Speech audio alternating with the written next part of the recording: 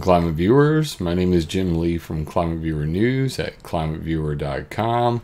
I want to talk to you today a little bit about weather warfare, directed energy weapons, and the fires raging around the world.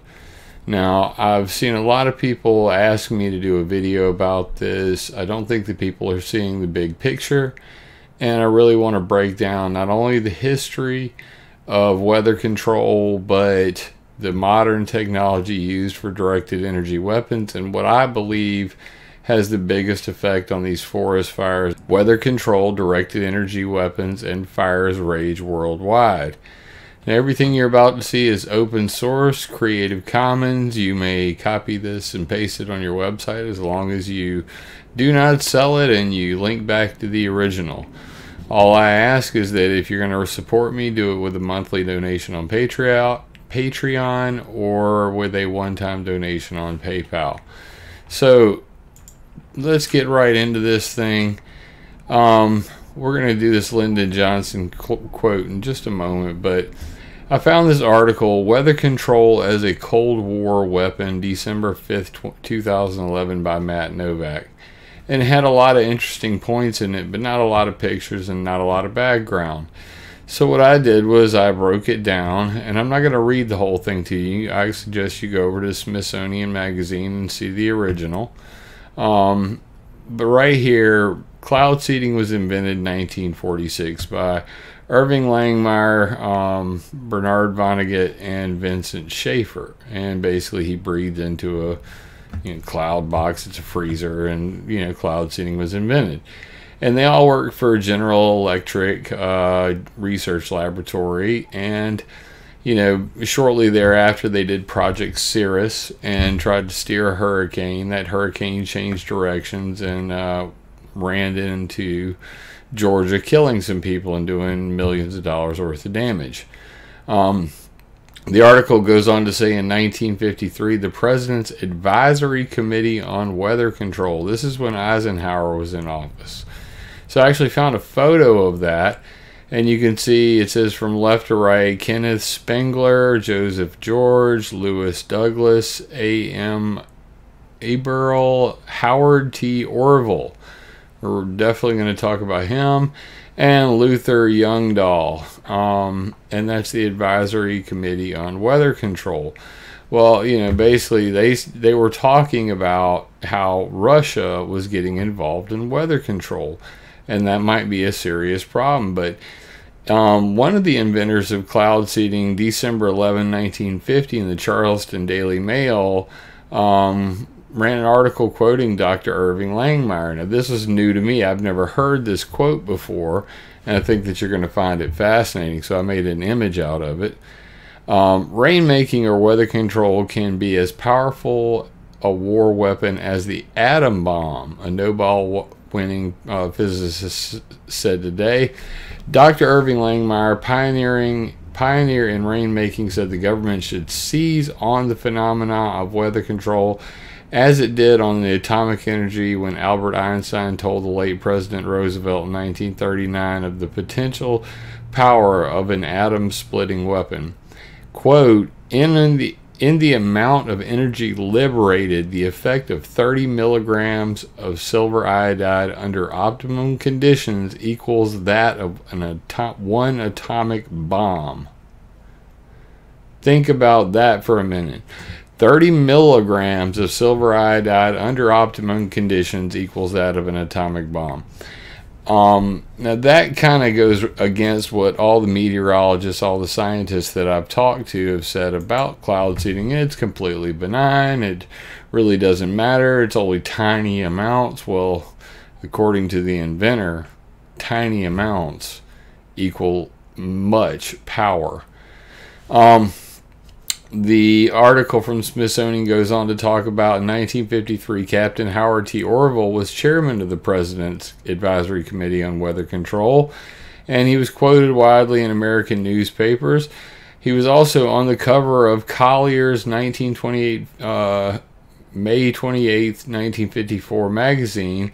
Um, and if any of you guys have ever been to weathermodificationhistory.com, which you can see right here, um, you'll see that that's what we've used as our logo is from that magazine cover. Um, no small surprise there.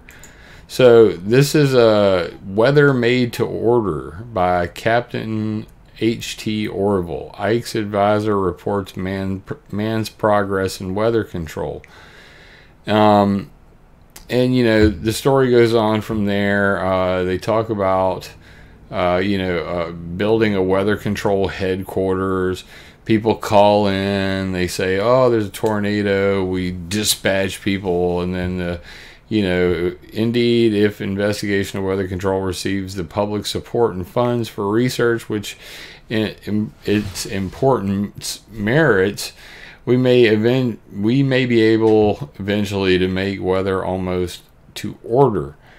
But, you know, of course, the opposite is true. Um, the same technology that could be used for benevolent purposes will be used for war- warfare, and it has been.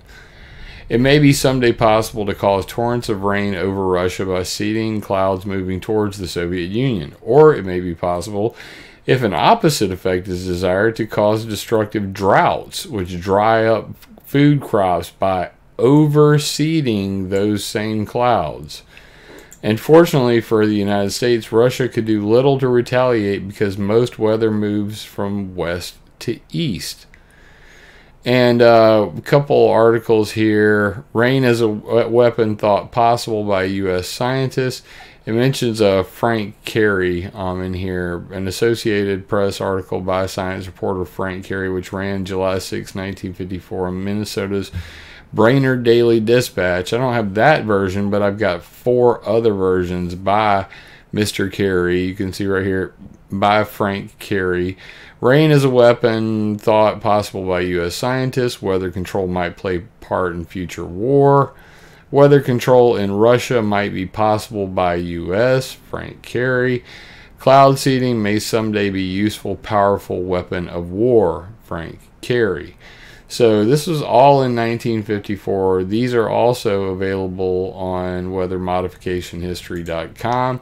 Simply click on newspapers and you will see that we have newspapers going all the way back to 1981. Shout out to Dominic Marama who uh, recreated these articles from various sources on the internet and turned them into single images for your browsing pleasure. Simply click on one and start your reading flip through, flip through, flip through. Um, and I, you know, I use these regularly when I'm trying to reference history. Dr. Edward Teller, father of the H bomb, said, I would not be surprised if accomplished, um, more confident of getting to the moon than changing the weather, but the latter is a possibility. I would not be surprised if, if accomplished in five years or failed to do so in the next 50. He said that in 1958. Now, Edward Teller is also the individual from Lawrence Livermore National Lab who in 1994 started the big push for geoengineering that is going on today.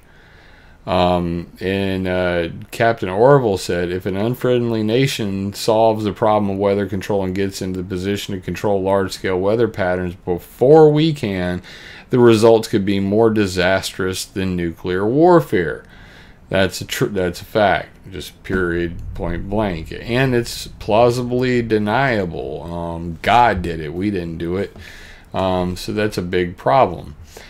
Uh, and then in uh, 1958, Captain Orville again, you know, talking about problems uh, that a satellite could focus sunlight to melt the ice in frozen harbors, thaw, thaw frosted crops, or even scorch enemy cities. Quote, behind the scenes, while statesmen argue policies and engineers build space satellites, other men are working night, day and night. The, they are quiet men, so little known to the public that the, of that the magnitude of their job, when you first hear of it, staggers the imagination. Their object is to control the weather and change the face of the world. Some of these men are Americans, others are Russians. The first skirmishes of an undeclared Cold War between them already have been fought. Unless a peace is achieved and the the war's end will determine whether Russia or the United States rules the Earth's thermometers, which goes right to the heart of geoengineering and uh, the climate change, global warming debate going on today. Um, and you can see some more articles by uh, Captain Howard Orville here. Weather as a Weapon, page 1 and 2 from Popular Science. Each and every one of these you can open link in a new tab and see the full size version of it and read it yourself. Um, or just go over to Weather Modification History. A powerful, more menacing than the H bomb. A powerful a power more menacing than the H bomb will be wielded by the First Nation who learns how to use weather, weather as a weapon. Uh, it's pretty horrible stuff. Red's control of weather held threat. Russia pulling ahead of U.S. warns senator. And then back to that Eisenhower, um, you know, committee, weather control research okayed. July 12, 1958. Um, but of course, the U.S. National Research Council pushed back, saying we conclude the initiation of large scale weather modification programs to be premature. Um, and that's the end of the Smithsonian Magazine um, story. But there's way more to the story, and now you, are going to hear the rest of the story. So, before Eisenhower left office, he uh, warned us of the military industrial complex. And I think even he had a sense of what he had started when he okayed this weather modification research, when he, you know, opened the, the floodgates, as it were. Um, and, and he definitely warned us of that. Please watch the video. Next up, we had President Kennedy and his United Nations address to, on weather modification. We shall propose further cooperative efforts between all nations in weather prediction and eventually in weather control. September 25th, 1961. Read the article on weathermodificationhistory.com. Um, references are provided on each of these. Then came President Lyndon Johnson, who was also Vice President Lyndon Johnson when he said a couple of these, but the worst being it lays the predicate and foundation for the development of a weather satellite that will permit man to determine the world's cloud layer. You mean like the chemtrail problem we're seeing today, the clouds in the sky that everybody's complaining about? determine the world's cloud layer and ultimately control the weather. He who controls the weather will control the world. And he said this at Southwest Texas State University in a commencement speech in 1962. Article backing that up. LBJ says it's time to change the weather, February 19th, 1966. And the worst quote of all from space, the Masters of Infinity would have power to control the Earth's weather, to cause drought or and flood, to change the tides and raise the levels of the sea, to divert the Gulf Stream and change temperate climates to frigid.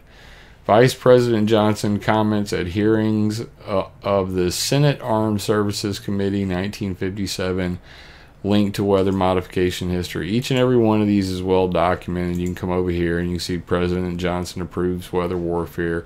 Same two quotes I gave you. The actual commencement speech itself, you can watch it, and a whole bunch of references um, to articles about that. Same images available here. So that's what weather modification history is all about. It's a timeline um, that allows you to go through the entire history of weather modification. I suggest you do so because those who forget the past are doomed to repeat it. All right, so back to the story. Um, that's a scary speech, and he's talking about space weather control and controlling terrestrial weather, you know, where we live from space um, or a space race. Well, that's very interesting. Um, Lyndon Johnson went on to okay weather modification and weather warfare over Vietnam. Henry Kissinger, the CIA, and Lyndon Johnson uh, basically used the U.S. Air Force and Navy to do weather modification over uh, Vietnam using silver iodide and lead iodide. Um, tell that to all the people who are getting paid for Agent Orange damage to their lungs. They were also sprayed with lead. But um, this lasted from March 20th, 1967 to 72. It was completely a secret until Jack Anderson, my hero reporter, um, found a note that said Laos operations continue as present plus Popeye to reduce trafficability along infiltration routes and authorization requested and implemented operation implement operational phase of weather modification process previously successfully tested in the evalu- and evaluated in some area U.S. Senate subcommittee on the oceans and international environment. Um, come over and look at the Popeye thing; it'll blow your mind how many links we got on it. Uh, that's the actual C-130 with a JATO um, silver iodide rack. These are this is the U.S. Navy's cold cloud modification bomb. That's Jack Anderson. That's Senator Claiborne Pell. He had three hearings about this um, incident, and we've got many, many, many, many, many articles. CIA rainmaking over Laos uh, has only indifferent results rainmaking over trail tried by CIA. That's the Ho Chi Minh Trail. Everybody's seen the videos of uh, the weather, you know, and people up to their knees in mud. Senator seeks NATO ban on weather wars.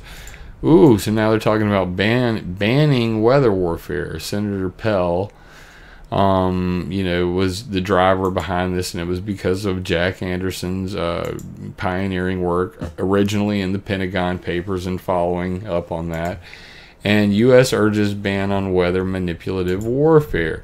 U.S. Soviets propose ban on weather warfare. So they, oh, wait, now they agree that they should just ban it because it's getting kind of out of hand, right? Well, that comes next. The Environmental Modification Convention Weather Warfare Ban 1977 and 1980. And you can see the paper here. Convention on the Prohibition of Military or Any Other Hostile Use of Environmental Modification Techniques, October 3rd, 1978. And that's when the Environmental Modification Treaty was signed, um, also known as ENMOD. Um, and the, the, bulk, the most important statement in this is each party in this convention undertakes not to engage in military or other hostile use of environmental modification techniques having widespread, long lasting, or severe effects as a means of destruction, damage, or injury to any state party. So they banned weather warfare, but they did not ban weather modification. It still allows for peaceful weather modification. Going forward, Jack Anderson once again breaking the news the race for Star Wars weapons. The United States and Soviet Union are engaged in a deadly race to develop Star Wars weapons like laser beams and man-made lightning bolts. The top the top secret plans call for mounting them aboard future spaceships. And he talks about charged particle beams and other things like that. Um, you know, this is this is a serious serious topic. Now, the colloquial term that everybody uses is directed energy weapons. He says it right here. Who's ahead? The assessment of the U.S. balance, uh, U.S. Soviet balance in laser and other directed energy weapons is contain, contained in a highly classified study last year by the Arms Control and Disarmament Agency. It was shown to my associate. Overall, the US and USSR high energy laser programs are roughly equal at present time. 1981 Washington Post.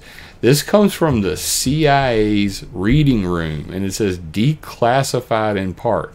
This is a freaking article that appeared in a newspaper that apparently has been redacted and re released declassified in part. So, Jack Anderson, I wish I could find an original copy of this and read where whatever they removed, but just what's in here is a pretty hot topic, to say the least. Next up, we have the Russian woodpecker Chernobyl meltdown and ionospheric heating over the United States 1983 to 1986 um, video right here. Now, you can come to the link, it's on climateviewer.com, and you can basically see that, you know, at one point, the Russians had these ionospheric heaters. They were called the Duga 3 radars, also known as the woodpecker.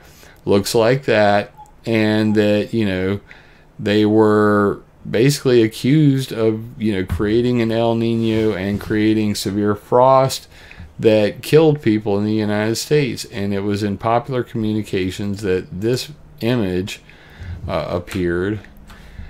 ELF, is ELF able to manipulate the weather? Have the ha, has a technique devised by Tesla permitted the Soviets to alter the world's weather? And down here it says 130 um, caused the deaths of 138 persons and damaged many millions of dollars of crops. Scary stuff indeed. Um, and as a result, if you did not know, um, the Russian woodpecker was only 5.9 miles away from the Chernobyl reactor because this was an ionospheric heater powered by the Chernobyl reactor and of course, we blew that up. So that's not a coincidence, um, and you can see the fallout there. So that's that's an interesting uh, note follows up right after what Jack Anderson said about Star Wars weapons. He was referring to ionospheric heaters as well. Um, and ELF are extremely low frequency waves and their ability to generate gravity waves or Lee waves in the sky and blocking patterns or ridiculously resilient ridges, um, things like that.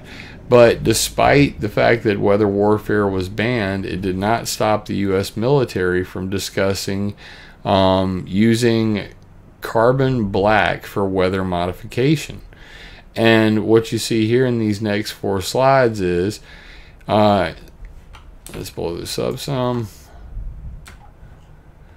Weather modification using carbon black. Let's go even bigger. Increased precipitation. Muddy dirt roads. These are all the th same things we did in uh, in Vietnam decrease precipitation, dry out roads, fields, improve tractability, deny fresh water to troops in semi-dry regions, to actually shut off water going to a country. We did it in C- to the CIA. The CIA did it to Cuba in 1969 and was called Project Nile Blue. And then wait for it, increase cirrus cloud cover, chemtrails cover the sky in clouds, just like LBJ said. Let's control the cloud layer. Why do that? Why does the U.S. Air Force say they want to do this? Create clouds in the sky, deny visual satellite or high altitude reconnaissance, decrease decrease light level for nighttime operations, so our night vision goggles are more effective. But what you'll quickly realize is even though this is a report from 1997 given at the uh, by the U.S. Air Force Phillips Laboratory at the Test Technology Symposium 97, a joint Army Air Force um, meeting, that back in 1958, Navy scientists creates clouds, breaks them up. You can see uh, Dr. Florence Van Straten here, and they used ordinary carbon black dust or a, a, a byproduct, a part of soot, just regular soot. And it says we dropped carbon black suspended in a liquid over a track of a mile and produced a solid line of clouds one mile long. When the, we dropped a half pound pa dry packages of carbon black, we produced single clouds with each drop. The Navy then team seeded seven clouds with carbon and uh, dust and dissipated each of them in two and a half to 20 minutes. Each cloud turned gray and then rapidly disappeared. Aside from the cost of the airplanes, we spent less than $5 on the experiments over Georgia. So this this idea of using carbon black dust to do weather modifications still not well known, except to my people, of course. Um, I've been talking about carbon black dust at length ad nauseum for five years now, and I believe this is the true secret behind the chemtrail conspiracy to create clouds is that planes spew carbon black dust every single day, and that's how clouds are made. So, if the U.S. Air Force says they can decrease precipitation, if Dr. Irving Langmuir and Captain Orville said we could overseed the sky um, to shut off rain, then why is anybody surprised that Iran accuses Israel of cloud theft, weather warfare, and the CIA Cuban rain embargo? Um, he said joint teams from Israel and one other neighboring countries are making clouds entering into Iran barren. And that is exactly more than likely the truth. That is a complete possibility. If you go to this article, you can actually read the whole thing. I got a video at the top. Just click play. It'll, you know, replace the picture with a video. But regardless, um, I go through all of the different people who reference this article. Um, Ahmadinejad, you know, complaining about it way back when, but weather engineering in China to prevent rain over the Olympic Stadium, that rain could be flushed out before it reaches the stadium. Um, and then how we made the Chernobyl rains. Use artillery shells filled with silver iodide to make clouds, rain clouds that would wash out radioactive particles drifting towards densely populated cities because they didn't want, um, you know, the the the rainfall to reach Moscow. So the meltdown occurred here. They did weather modification here, made all that rainfall here, and then the clouds are nice and dry before they got to Moscow. So how Russia stopped Chernobyl cloud um, methods to destroy developing convective clouds. Um, seeding of 30 kilograms or more of coarse dispersion powders like carbon black dust um, the Russian military also uses concrete uh, to prevent undesirable clouds and precipitation from reaching it. So read all about that. That article is on climateviewer.com as well. Um, but the, now we get into the you know the brass tags here. HAARP and the sky heaters. I got a video on this. You know how HAARP really works if you really want to understand that sort of thing. And directed energy weapons 101. So people are, are screaming that, you know, directed energy weapons are behind all the fires. Now, I have no absolute proof that that is true, but what I can do is educate you very, very much on what directed energy weapons are. And I just had an add on to this article, which is going to blow your mind. Um, and it's right here, scrolling down. The Directed Energy Professional Society, DEPS and I found, uh, actually, Dominic Marama found this PDF, which he sent to me, and it is fascinating. 2018 Directed Energy Educational Outreach. The United States leads the world in directed energy technology. Whoa. And then you look at, I made these images from the PDF just a couple minutes before making this video and uploaded them to the article, which I wrote a couple days ago are actually uh, the 5th of last month. And you can see who's all involved. Um, you know, just unbelievable. Booz Allen Hamilton. Do I need to say any more? Boeing, General Atomics, L3, Raytheon, all the names you know, and, and many more. Sandia National Laboratories, U.S. Naval Research Lab. Okay, you see it. That's who's involved. National scope of directed energy weapons technologies or activities 37 out of 50 states involved.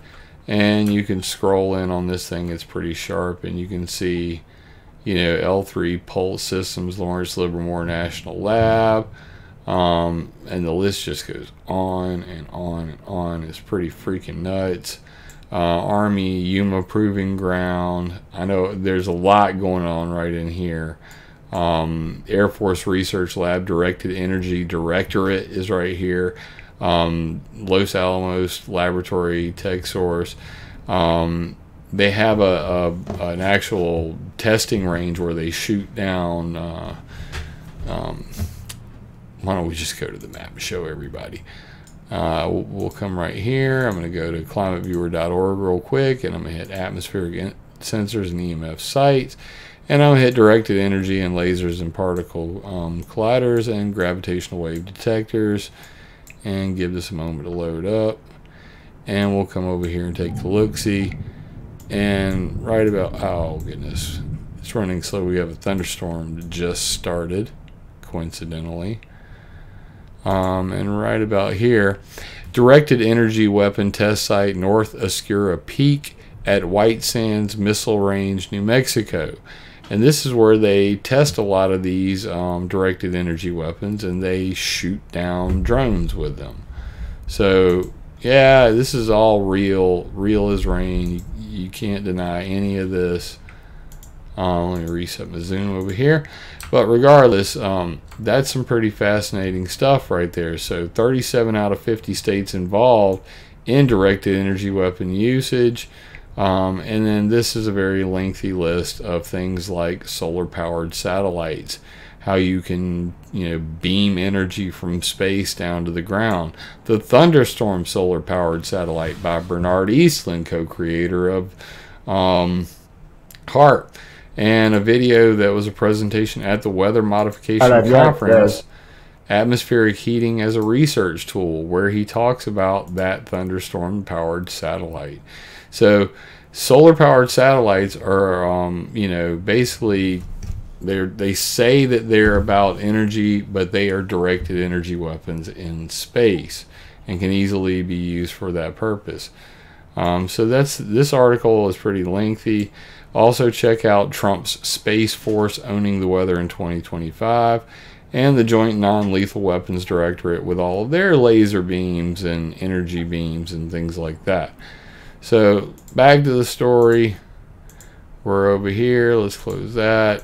All right. So where, where we jump down too far. All right. So that's Directed Energy Weapons 101. Read the article. It's very lengthy. It'll get you up to snuff on all of the directed energy weapons. And then we have this Fox News admits government using lasers DEW before CA fire. Found the original link on this. And they talk about the Athena um, weapon. Athena laser weapon kills five outlaws. For God's sakes, don't play this because I don't want a copyright strike. Um, but anyway, they have this woman who's overjoyed about talking about the Athena laser weapon system prototype from Lockheed Martin. I do not want your cookies. Um, but regardless how it works, shows them shooting down outlaw UAV, just like I was showing you on the map, burning holes in trucks, all of this sort of thing, shooting down drones. That's what the, um, the you know little PDF I just showed you about was all about. Um, how we have really perfected the art of directed energy weapons and she's overjoyed about this. And if you you know watch the video you can look through this and see a, a lot of uh, there's a, a, drone getting shot down unlimited ammo um, you know, we've seen the melted cars we've seen the damage burning holes in boats just un unbelievable devastation. Um, you know going on right now. So check that video out. It's pretty amazing. Um, but we also have this Dave Hodges from the Common Sense Show with Deborah Tavares, June 22nd, 2018. And she talks about something that I've mentioned several times earlier this year. Every time somebody asks me about California wildfires, I tell them about hack and squirt. So this is the first time I've heard somebody other than me uh, resonate that and made me very happy to hear her mention that. Um, and then she goes on to talk about directed energy weapons in the California fires. So check this out. It's a great interview. Um, it's about an hour long. I'm not going to play any of it, but regardless, let's do this hack and squirt thing. Roundup to kill trees, create forest tinder boxes. Hack and squirt is very simple method, said Jim not this Jim. If a tree has a main stem, merely place cut marks around it and inject herbicide. However, how you make those cuts is important. So you can watch this video series that I've put together. Um, and it's, you know, basically about hack and squirt. And you can see that I have several different videos here. Hack and Squirt Forestry, Mendocino County, California. Um, and a couple other. The Tainted Forest. Hack and Squirt Injection Application. Let's take a hack and a hack at hack and squirt individual plant treatments and how to kill a tree hack and squirt. Um, so basically, what's been going on in California is on large patches of land, and you can see it right here in the video. Uh, you see this dead patch of gray trees, and everything's green around it. Um, UN Agenda 21 2030 and the California liberals and the government are, you know, totally in on this thing with the, the hack and squirt method um, of going out and doing forestry uh, control using this hack and squirt method. Well, what that ends up doing is it doesn't actually cut the tree down, it lets the tree die in place which basically turns large portions of forestry into tinder boxes. So the only thing you need after that is a lightning bolt or obviously a directed energy weapon would work just fine. And you can light massive forest fires because they've been using hack and squirt for quite some time. And very few people are talking about it. But it's basically Roundup sprayed into a tree Take a blade, whack, whack, whack around the base of the tree, spray it directly into the cuts that you've made, and kill the tree in place. It is a horrible practice. The Lorax would be fit to be tied. And uh, I happen to consider myself the Lorax because I speak for the trees. So, from the trees, from the trees and me to you, quit hacking and squirting. You're burn. You're causing these tinder boxes. Uh, you, it's a stupid idea. So raging uh, fires ra- raging across California and worldwide. We'll go back to the map for that, and as you can see, I've got fires up here. Um, two different sources of fire maps um, currently up on the screen. Um, you just go to live alerts, fire, smoke, and volcanic activity, and I have the NOAA HMS fire detection and smoke detection, and the InciWeb incident information system um, reports right here. This is just in the California area. Pretty crazy. Let me go to. Um, actually, let's change this. Excuse me for a second to here so we have some actual borders and everything people can see. So these are the California fires. There's the car fire and as you can see um, it shows you know car fire wildfire information with a link to it and uh, where the fires are actually burning. That's not the only big one. There's a pretty big one down here. This one is the Mendocino complex wildfire uh, there's a there's a lot of wildfires going on right now all across the west coast, as we can see. Um, some of these bigger than others, obviously.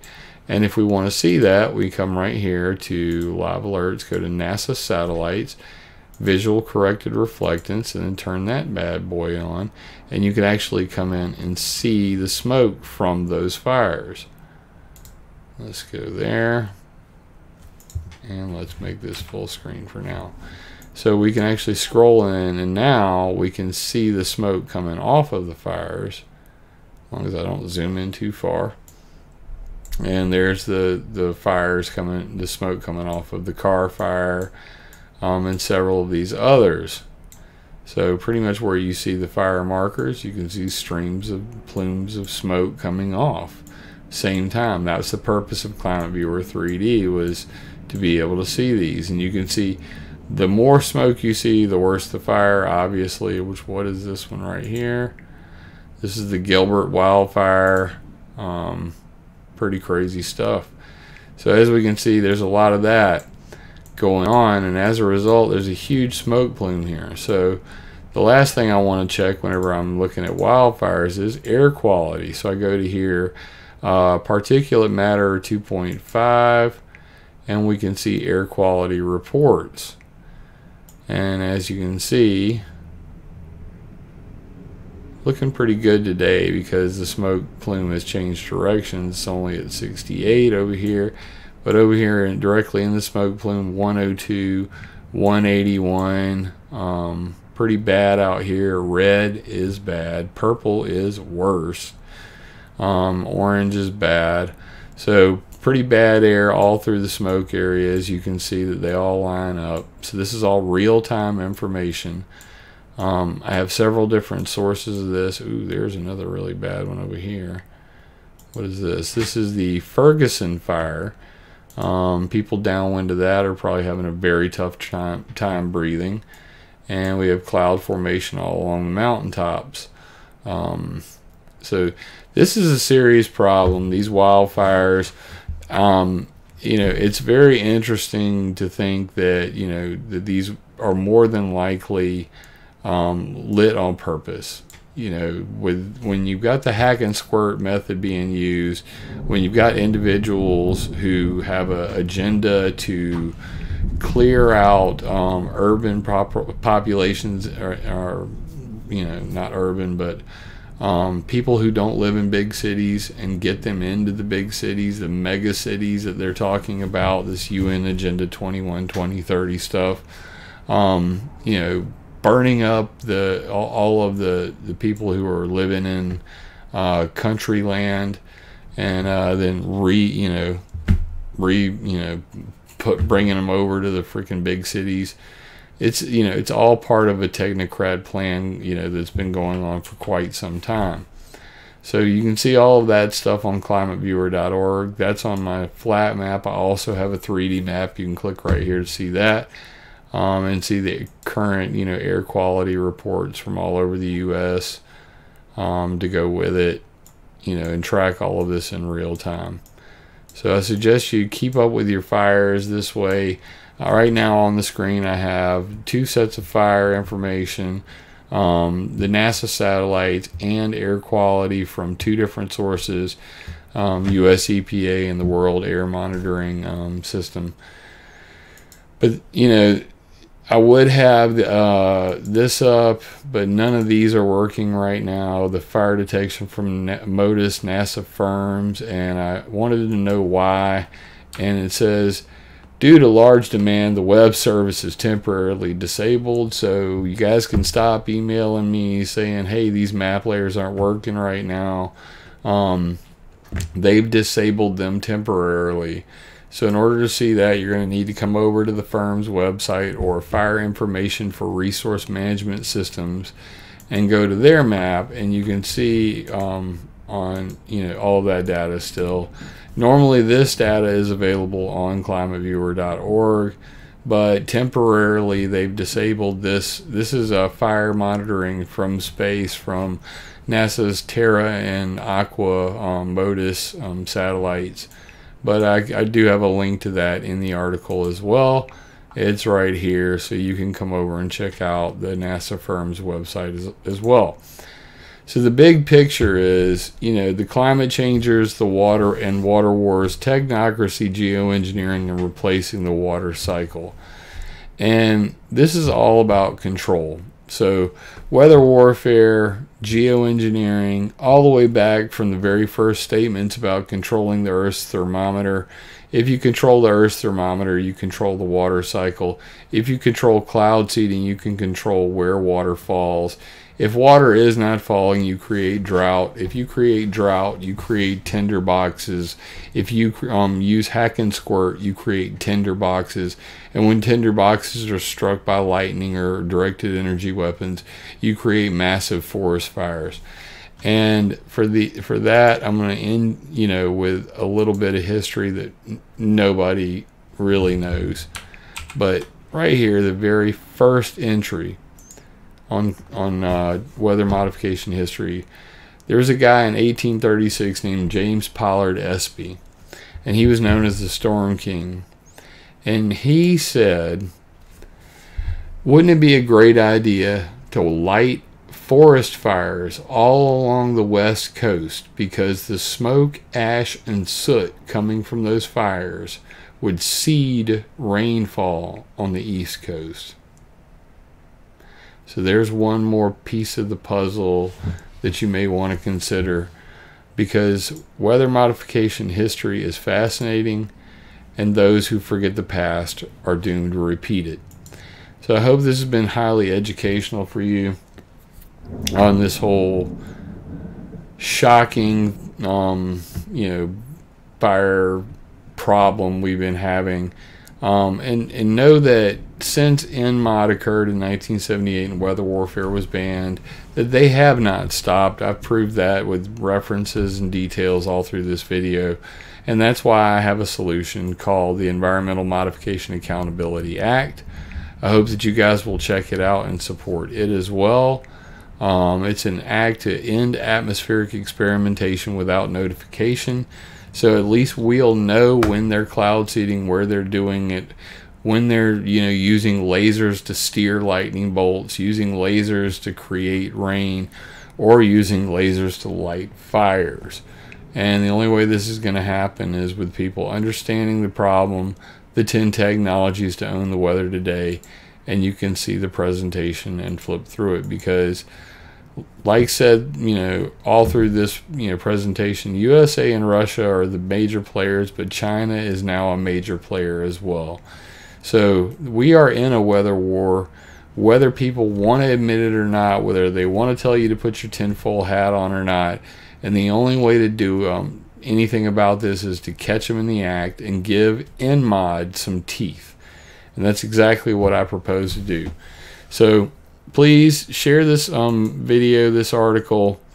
Um, it's very important that people understand the big picture. The article is Weather Control, Directed Energy Weapons, and Fires Rage Worldwide. Um, and I hope that you will continue to support me as well. You can give a monthly donation on Patreon or buy me, um, you know, a tea. I like green tea. I'm also doing these immune teas. Um, but regardless, send a one-time donation on PayPal. I am also trying to go to the HAARP facility, to the, the open house. So if you guys would like to support that as well, um, send Jim Lee to the HAARP open house. It's at gofundme.com slash HAARP. Um, so any any way you guys can support me, I'd greatly appreciate it. But I will continue to dig for the real details, all the facts, all the history, provide you with links, references, stuff that's credible, not um, you know fear porn filled with you know nothing to back these statements up, and that's what I do. So feel free to copy this article, put it on your website, just link back to the original, and please continue to support my work because you know the people who are killing the planet have names and addresses, and that's my specialty. And uh, that's why I provide this information, and with the information comes power. And I ask that you use that power to attack ideas, not people. If this video resonates with you, leave me a comment because I love hearing from y'all. First time here, be sure to subscribe and click the bell. The bell doesn't always work, so come to climateviewer.com and sign up for our newsletter. Remember, it would be impossible for me to do this without your support, so please join my Patreon or buy me a coffee on PayPal. And always, attack ideas, not people.